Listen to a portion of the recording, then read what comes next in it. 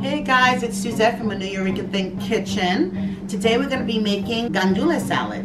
Yes, ensalada de gandules. It's super easy and you can actually do it with chickpeas if you like those kind of beans. Um, but let's get started. It's super easy, one, two, three, and you do a little um, white rice on the side and you have yourself a meal. And it's also vegetarian and vegan friendly. So what you're gonna need is a can of gandules. I have a small can, so depending on the size of your party or if you're just doing it for your family. Um, some cilantro, a red onion. We are going to need a little bit of oregano, about two bay leaves, some salt.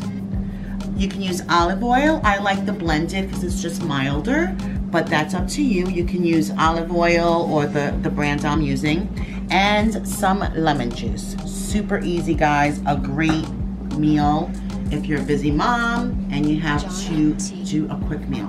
So let's get started. Okay guys, so what you want to do when you open up the can of uh, your beans, it could be the chickpeas as I said, today we're doing the gandules, you're going to rinse it. Okay, so you want to rinse your beans and put that through a strainer and just put it in a nice glass bowl because it's always nice to put um, a glass bowl when you are combining lime juice or lemon juice and olive oil if you put something in a metal, it just it gives it a funky flavor.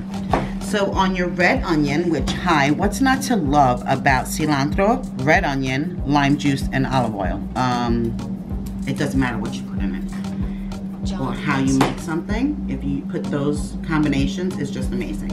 So what I do with the um, red onion is I slice it nice and thin. You do not want this to be thick pieces you want it to be nice and thin. And when I cut cilantro, I also, I like it to be kind of chunky, but that's, again, you're the cook, this is up to you. You're probably not going to need the whole red onion because I'm only doing a small can. So, you know, cut a little bit, add it in there. If you want to add more, go ahead. This is no rocket science, guys. This is so easy, like amazing. This is a great party thing too, like if you're having a backyard party and you want a little something different. So you see how my um, red onions are in there. We're gonna put that in there. Now the cilantro, like I said, I already washed it, so you wanna wash your cilantro very well. And I like my cilantro in this to be chunky. I don't want it to be like where I can't see it and I can't taste it. So it's gonna go in there, pretty chunky. Okay, you can cut it finer if you'd like.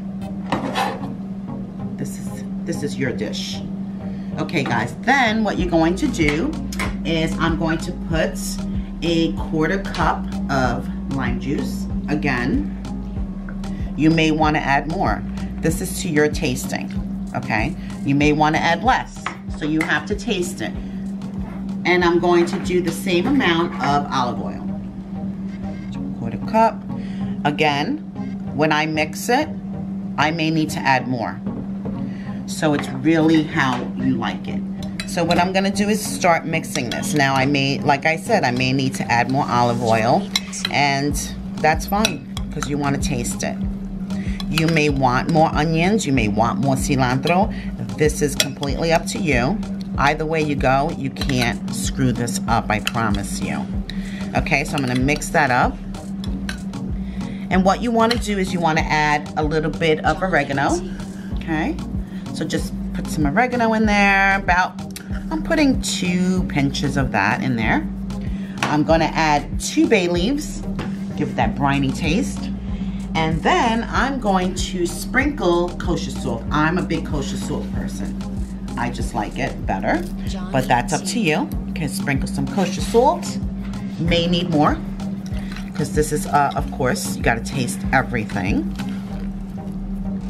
And you're gonna mix this. Now you're going to mix this, okay?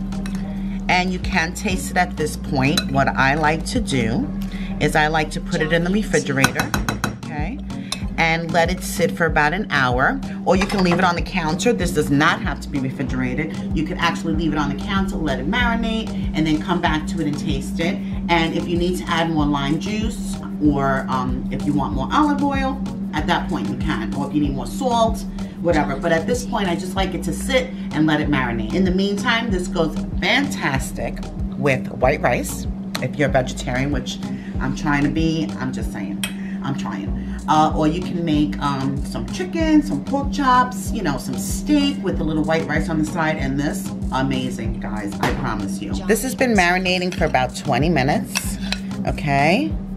So there's juices in there. You might want to add, I think I'm going to add more because I like mine to be a little bit, have a little bit more juice, especially when I'm going to make white rice with this. So the lime juice and the olive oil with the white rice is amazing. So let me go ahead and taste. Oh my God, guys. Ensalada de gandules is delicious. So you see the juice down there? Okay, so that tastes amazing on your meat, your rice. So if you're gonna make this as a side dish, just go with your rice, you want that. But this is the base of this amazing salad, and I think you guys are really gonna enjoy it. And I'm happy that you are watching today. If you like my video, please like, share, and subscribe. Thank you so much for watching and happy cooking.